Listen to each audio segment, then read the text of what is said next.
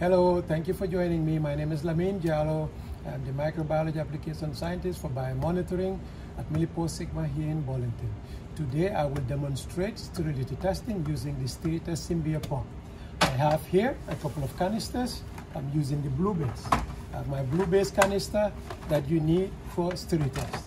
I also have my diluent that I will use to rinse it. This diluent could be any of the recommended diluents as long as it is sterile, USP recommended diluents. I have my product, here it is assumed that my product is poured in one bottle. And I obviously can't do it without our media. We have our TSB media and FTM media to start. I have my canister, I peel my canister, gently remove it from the holder and insert it in the canister holder here. Okay. My pump is on. I'm going to test using the standard mode. As we all know, it does have the test method mode where you transfer test methods in there and it will guide you through the whole test. I'm using standard, which is manual. So it is recommended that always the canister that is on the right side, the tubing goes force inside. Push it all the way in, make sure you can move it freely inside. Leave enough room here because when the pump closes, it takes, it chews some of the tubing, it might not leave you enough here. So once that is done, I'll close my pump. Okay. So with the canister set, comes with my accessories. You have my red plug, I do have my yellow plug as well.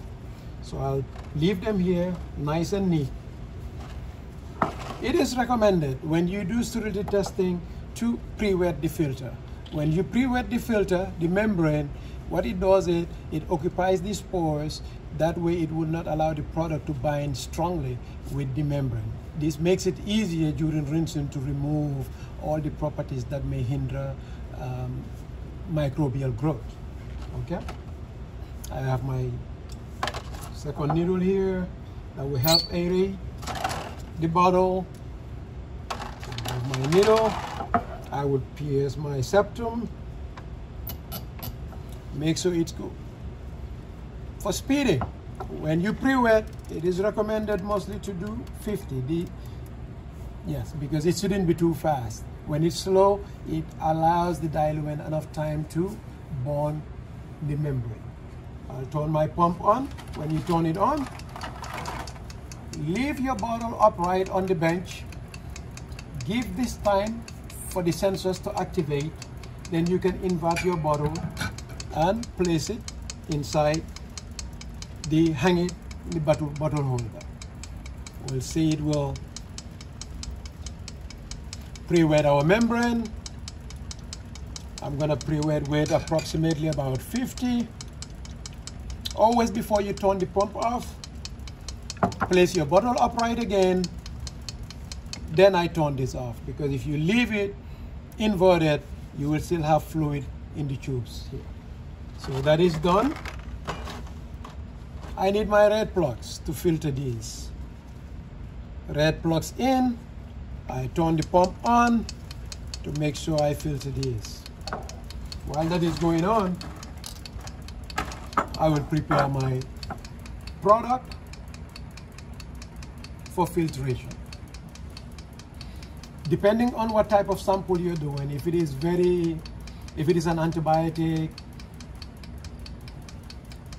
or a product that has properties that will hinder growth, what you can also do is you could also add another 50 ml.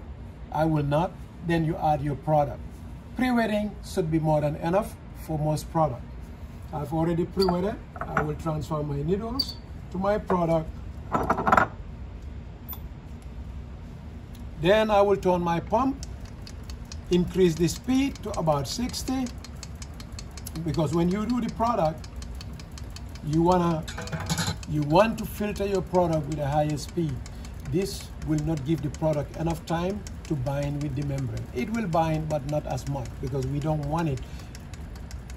We don't want it interacting with the membrane too long. While it's here, I can add my red plugs, assuming this is enough. In the interest of time, that would be the only product I would filter. Let this filter, and I'll prepare my rinse fluid again to rinse it. When you filter this, after you filter the product, you want to keep the membrane moist because if you leave it dry, it becomes a little harder for you to rinse off the product. So I will transfer my needles again to my diluent. I will reduce the speed again to about 50 and I will turn this on depending on how many rinses your method requires you will do this and repeat it as many as the record uh, as the method dictates. I'm only demonstrating one here.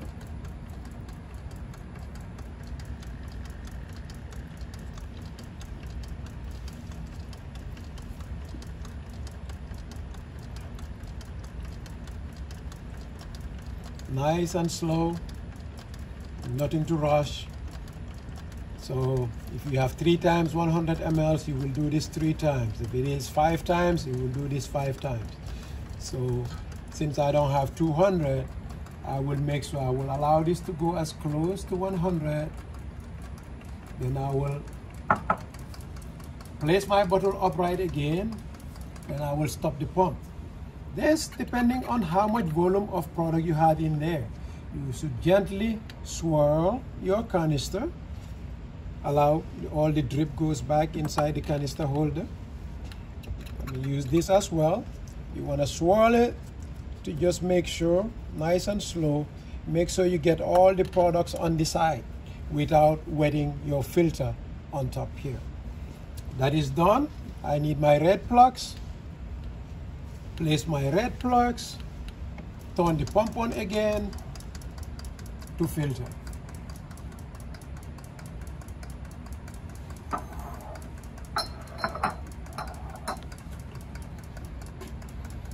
while this is prepared, filtering, obviously prepare your media. Before you start, always it is assumed that all this process should be aseptic. Before you start, if you're in an isolator, of course you will run your isolator. Before you start, you will wipe your stuff with IPA, make sure everything is ready. Um, so you can test aseptically. So this is almost done. Since the media is coming, once you're done, you make sure all the diluent is filtered. I'll turn my pump off. I'll remove my red plugs. Next would be my yellow plugs. Don't forget your yellow plugs. If you don't attach your yellow plugs, you will lose some media. You could lose some media, and that could render your test invalid. Okay, I place my yellow plugs in there now I would transfer my needle. I like to do my TSB first. I will transfer the needle inside the TSB. I will transfer this inside the TSB. Okay. The speed is at 50, which is good for TSB. If this were method development or method suitability, what you would do is you will do your last rinse. Your last rinse, obviously, you will spike it with your microorganism of interest, then you rinse it before you add your media. In that case also, it would have been two TSB or two FTM because the organisms can go in one media at a time. The organism B subtilis, it would be two TSB, one for positive control, one for the sample, or positive control in duplicate or sample in duplicate. But here we are demonstrating regular, uh, regular sterility testing, so I would use the two media. In the lab, this is how it would do. After your sterility test rinse, then you'll do your media one at a time. Don't forget, clamp one side. I like to put my FTM with red. I will clamp it. I will leave the other side open. Then I will turn my pump on. I will allow the sensors to engage. Then I will invert my media, media bottle. Nice and slow. Let it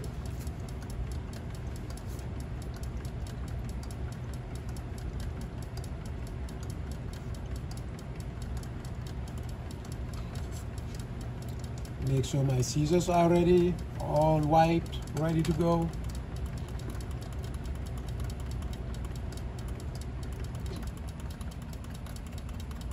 Since I'm filtering the whole content, there is no need for me to place the bottle upright. I can just turn the pump off. There is no liquid. If there was liquid still here, it's always recommended to place your bottle upright before. So now I will transfer to my FTM. Inside my needle, avoiding to touch the needle, inside it.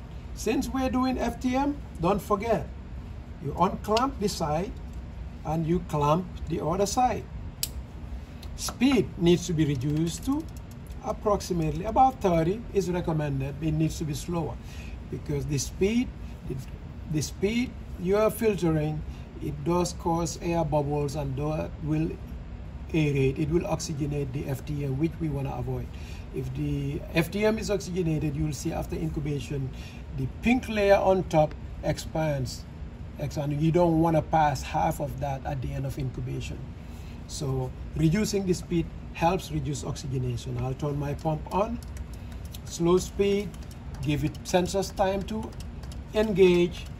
Then I will invert my media bottle and let it transfer nice and slow inside the other canister.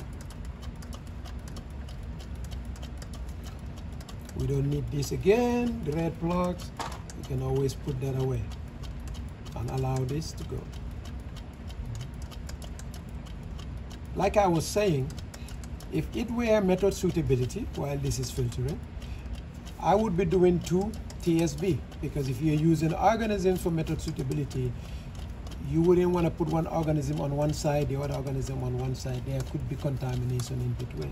In that case, I prefer running them in duplicate.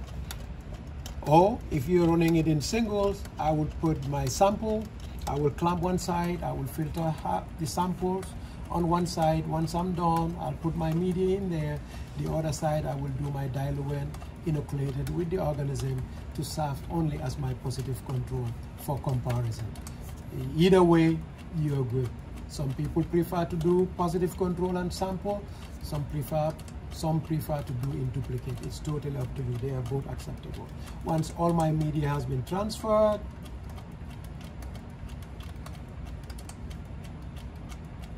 I will stop the pump. I will stretch this a little bit. I will push my clamp a little further away, clamp it. Move this a little further away, clamp it. Always open the pump to release the pressure. If you don't open the pump, once you cut here, you could spread the product, media on your face leave enough to grab this so you can push it in cut the other side grab the end push it in.